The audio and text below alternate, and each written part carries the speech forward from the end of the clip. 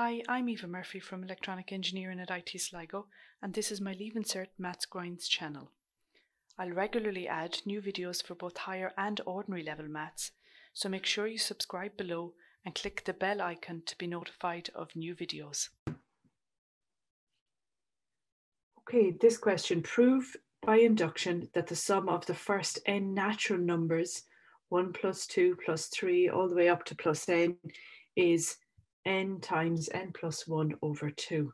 Okay, so it's it's part of the first type that we went through there, um, the sum of a series. Okay, so it's the sum of the first n natural numbers. Okay, so let's go through our steps. So as I write this down on the screen here, this is how I would write it down in an exam question, okay? I'm not writing down any extra here at all just because I'm just because I'm doing it for you. So show true for n is equal to one. Okay, so in these, we're always showing that the left-hand side is the right-hand side.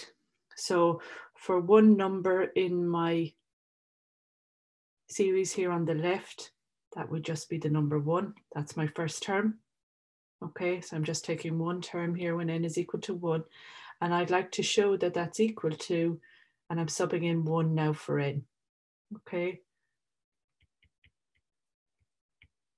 Okay, and if I was strictly speaking, here at the front, I would have P of one, which is the case where I'm taking the first term. Okay, so I'm getting one here on the left is equal to one times one plus one over two on the right. One is equal to, so that will be two over two, which is one times one, which is one. Okay, so we have shown that the left-hand side equals the right-hand side for the case n is equal to 1. So that is the first step in the proof by induction. Second step, assume true for n is equal to k. Okay, so that is just simply I sub in k anywhere I see n. So on the left hand side, I'd have 1 plus 2 plus 3 plus dot dot dot plus k. Um, and it's equal to, on the right hand side, k times k plus 1 over 2. Okay, and that line where we assume true for n is equal to do, n is equal to k is at the heart of proof by induction. Okay, and the third step, prove true for n is equal to k plus 1. Okay, so on my left hand side, I have 1 plus 2 plus 3 plus dot dot dot plus k. I always leave k in it, in it, okay, because as part of proof by induction, we always use this assumption that we've made here, okay? So I want to leave k in it, and I'm going to add on the next term, which is k plus 1, okay? k plus 1 is one term up from k.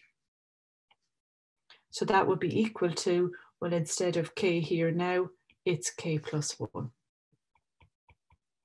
So I'll have k plus 1 times k plus 1 plus 1 over 2.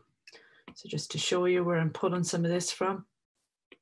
Okay, that k there has been replaced with k plus 1.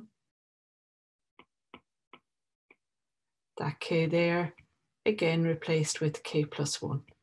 And you can see that's the extra plus 1 that I have here. Okay, so for this one, I am getting k plus 1, k plus 2 over 2. Okay, now I have to show that the left-hand side equals the right. Okay, so I'm going to work from the left-hand side here.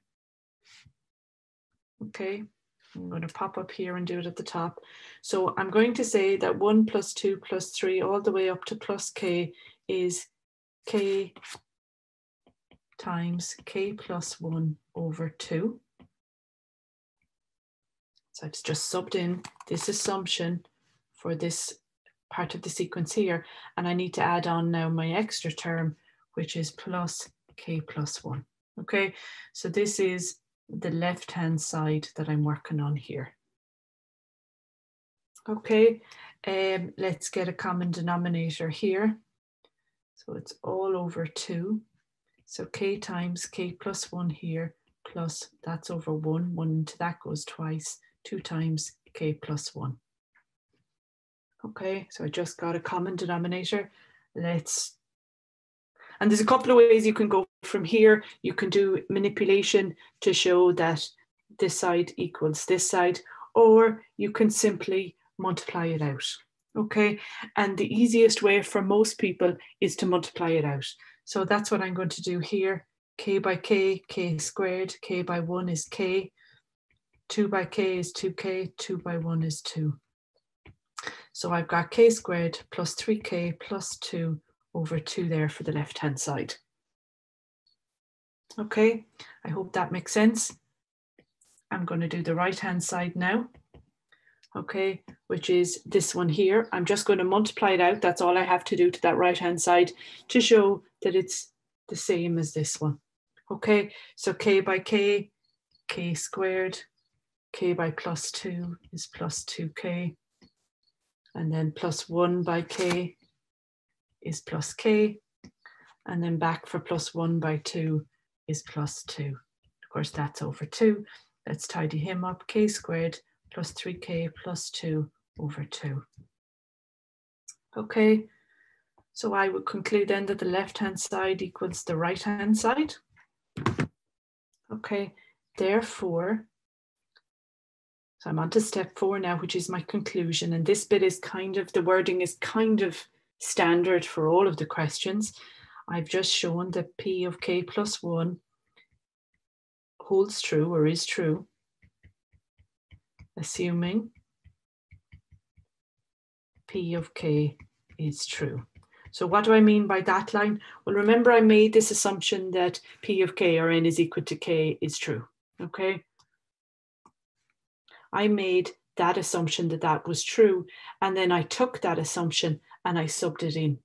Okay, so what I'm saying in this line then is P of K plus one is only true if P of K is true. And that's your proof by induction really there in essence. Okay, so P of K is true, assuming P of K is true. P of K plus one is true, assuming P of K is true. Okay, P of one um, is also true. We showed that at the start. Therefore, P of n is true for all natural numbers. Okay, and I got that wording for there.